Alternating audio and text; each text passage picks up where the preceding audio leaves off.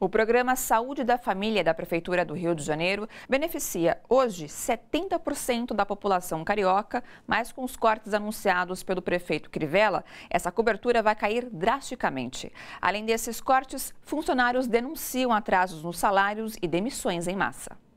As demissões em massa dos agentes comunitários de saúde na capital do Rio fazem parte do plano da prefeitura para 2019, quando foram retirados 725 milhões de reais do orçamento da saúde. Hoje nós temos em torno de agentes comunitários de saúde, uma base de 400 a 500 agentes comunitários de saúde já cumprindo o aviso para a demissão. Além das demissões, há relatos de atrasos salariais. Uma base de 2 mil pessoas sem receber o seu salário na, na, até a data de hoje e sem previsão para que receba esse salário referente ao mês de dezembro.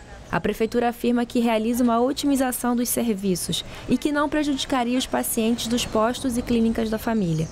Mas, na prática, não é o que acontece. A Clínica da Família em que Éden dos Santos trabalha atende cerca de 6 mil pessoas dentro da favela da Rocinha, na zona sul do Rio. Mas perdemos uma equipe.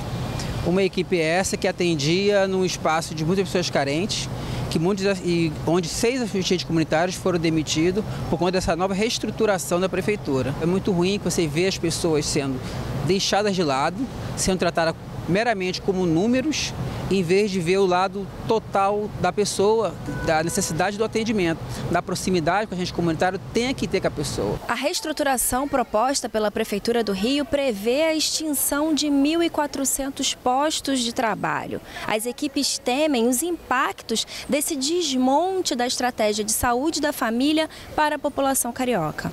Nós tínhamos somente 70 70% da população assistida.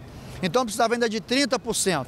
Eles estão retrocedendo agora né, com esse número, porque pela, pela somatória deles lá será 184 equipes a menos.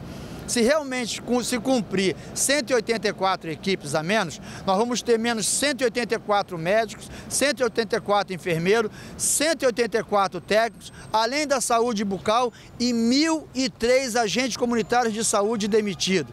Maria Cristina lamenta que, apesar do carinho dos pacientes, o profissional seja tão desvalorizado pela prefeitura.